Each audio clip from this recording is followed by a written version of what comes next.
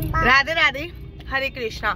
श्री धाम वृंदावन की पावन धरा से आप सभी को मेरा आ, सादर दंडवत प्रणाम। और बिहारी जी का प्रादुर्भाव है अर्थात मेरे बाकी बिहारी जी का जन्मदिन है कल। और हम लोग पुणे से श्रीधाम वृंदावन आ चुके हैं। हम नहीं आए हैं हम कौन आते हैं भाई? हम कौन हो सकते हैं आने वाले? हाँ, हमारी बहुत अच्छी मैं किस्मत बोल सकती हूँ बहुत अच्छे हमारे कर्म होंगे जो बाकी बिहारी जी ने हमें ये सुनिश्चित किया कि मेरे अवतरण दिवस पर मेरे जन्मदिन पर तुम अ, श्रीधाम वृंदावन में रहोगे और हमारा प्लान भी कुछ ऐसा बना कि बाकी बिहार जी के जन्मदिन पर हम लोग श्रीधाम वृंदावन में है। कल बिहार पंचमी है और बिहार पंचमी पर ही बाकी बिहार जी का जन्मदिन है और कल ही हम वृंदावन धाम की परिक्रमा करेंगे। लेकिन उससे पहले आज हम राधा रानी के दर्शन के लिए जा रहे हैं। कल रात को 12 बजे आए थे हम लोग तो मेरी बेटी जब से हुई है, तब से वृंदावन की तो परिक्रमा कर ली है और राधा रानी की भी इसने दर्शन नहीं करे अभी राधा रानी के। बिहारी जी के बहुत बार दर्शन कर चुकी है और वृंदावन की परिक्रमा कर चुकी है, लेकिन राधा रानी के पास इसका जाने का भी मौका प्राप्त नहीं हुआ। मेरी बेटी एक साल की होने वाली है। कुछ दिनों के बाद एक साल की हो जाएगी तो उससे पहले एक बार राधा रानी के दर्शन कराना बहुत आवश्यक था क्योंकि ये राधा रानी तुल्य ही है। हमारे लिए तो क्योंकि हमने इसको राधा रानी से ही मांगा था।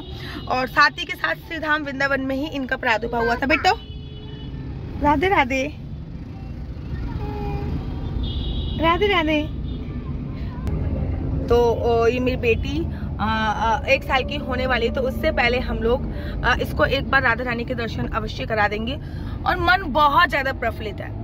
आपको एक बात बताऊँ मैं आज? मैं पुणे से आई दिल्ली। ठीक है ना? क्योंकि दिल्ली एयरपोर्ट आना था पुणे से दिल्ली एयरपोर्ट आई फिर मैं अपने पापा के घर पे गई क्योंकि रात को दो तीन बज गए थे। तो मैं अपने पिताजी के घर पे गई। तो अ, उसके बाद नेक्स्ट डे लेकिन मेरे मन में इतनी प्रशंसा नहीं थी। उन्होंने मुझे पैदा किया है वो मेरे माता पिता है वहाँ पे मेरे दो भैया रहते हैं दो भाभी रहती है भतीजियाँ रहती हैं मेरी। लेकिन मेरे मन में इतनी खुशी नहीं थी। फिर उसके बाद मैं अपने ससुराल में गई अपने सास ससुर से मिली नन से मिली जेठानी से मिली जेठ जी से मिली मम्मिया मतलब सास की मतलब वहाँ पे किसी की शादी भी थी म- मम्मिया ससुर जी की लड़की की। शादी भी थी शादी भी अटेंड करी बहुत नाच गाना भी हुआ लेकिन मन में इतनी प्रशंसा नहीं थी। और उसके बाद अब मैं कल रात को श्रीधाम वृंदावन के लिए जब निकली तो मेरे मन में इतनी प्रशंसा थी इतनी प्रशंसा थी कि मैं आपको इत, आपको अपने शब्दों में बयान नहीं कर सकती। मैं बहुत बहुत ज़्यादा प्रफुल्लित हो रही थी बहुत ज़्यादा खुश हो रही थी और साथ ही के साथ जब बिहारी जी के जन्मदिन पर इतने बड़े दिन पर हम लोग वृंदावन, हम लोग तो मैंने कहा ना कि एक पत्ता भी नहीं हिलता, आप देखिए, इस देखिए, दोपहर को दो बज रहे हैं और भीड़ देख रहे हो आप कितनी है, ये प्रेम मंदिर के बाहर का मैं आपको दृश्य दिखा रही हूँ। दोपहर के दो बजे भी प्रेम मंदिर के बाहर इतनी भीड़ है। अब मैं काफ़ी दिनों बाद वृंदावन आई हूँ और मैंने देखा कि वृंदावन में अब जगह ही नहीं बची है। वृंदावन ना भरता जा रहा है भरता जा रहा है। मेरे घर के थोड़ा सा सामने भी एक हॉस्पिटल खुला है एक होटल खुला है। तो कुछ चीज़ें मुझे भी नहीं वृंदावन भरता हुआ जा रहा है। मतलब पूरी जगह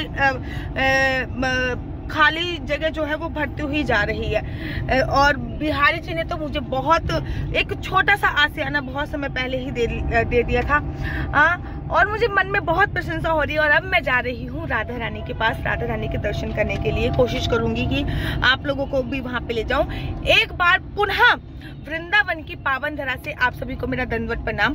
और आप लोगों को भी मैं आमंत्रित करती हूँ बाकी बहन जी के जन्मदिन पे, जो कि बिहार पंचमी पे है। अगर बाकी जी के जन्मदिन पे नहीं आ पा रहे तो घर पर भी बाकी बहन जी का जो अवतरण दिवस है, आप वो अवश्य बनाइए। कैसे बनाना है, अगर आप चाहते हो मैं उस पर वीडियो बनाऊँ तो मुझे कमेंट्स कीजिए। तब तक के लिए मुझे दीजिए इजाज़त। राधे राधे। हरे कृष्णा। हरि बोल बोलिए बरसाने वाली की जय।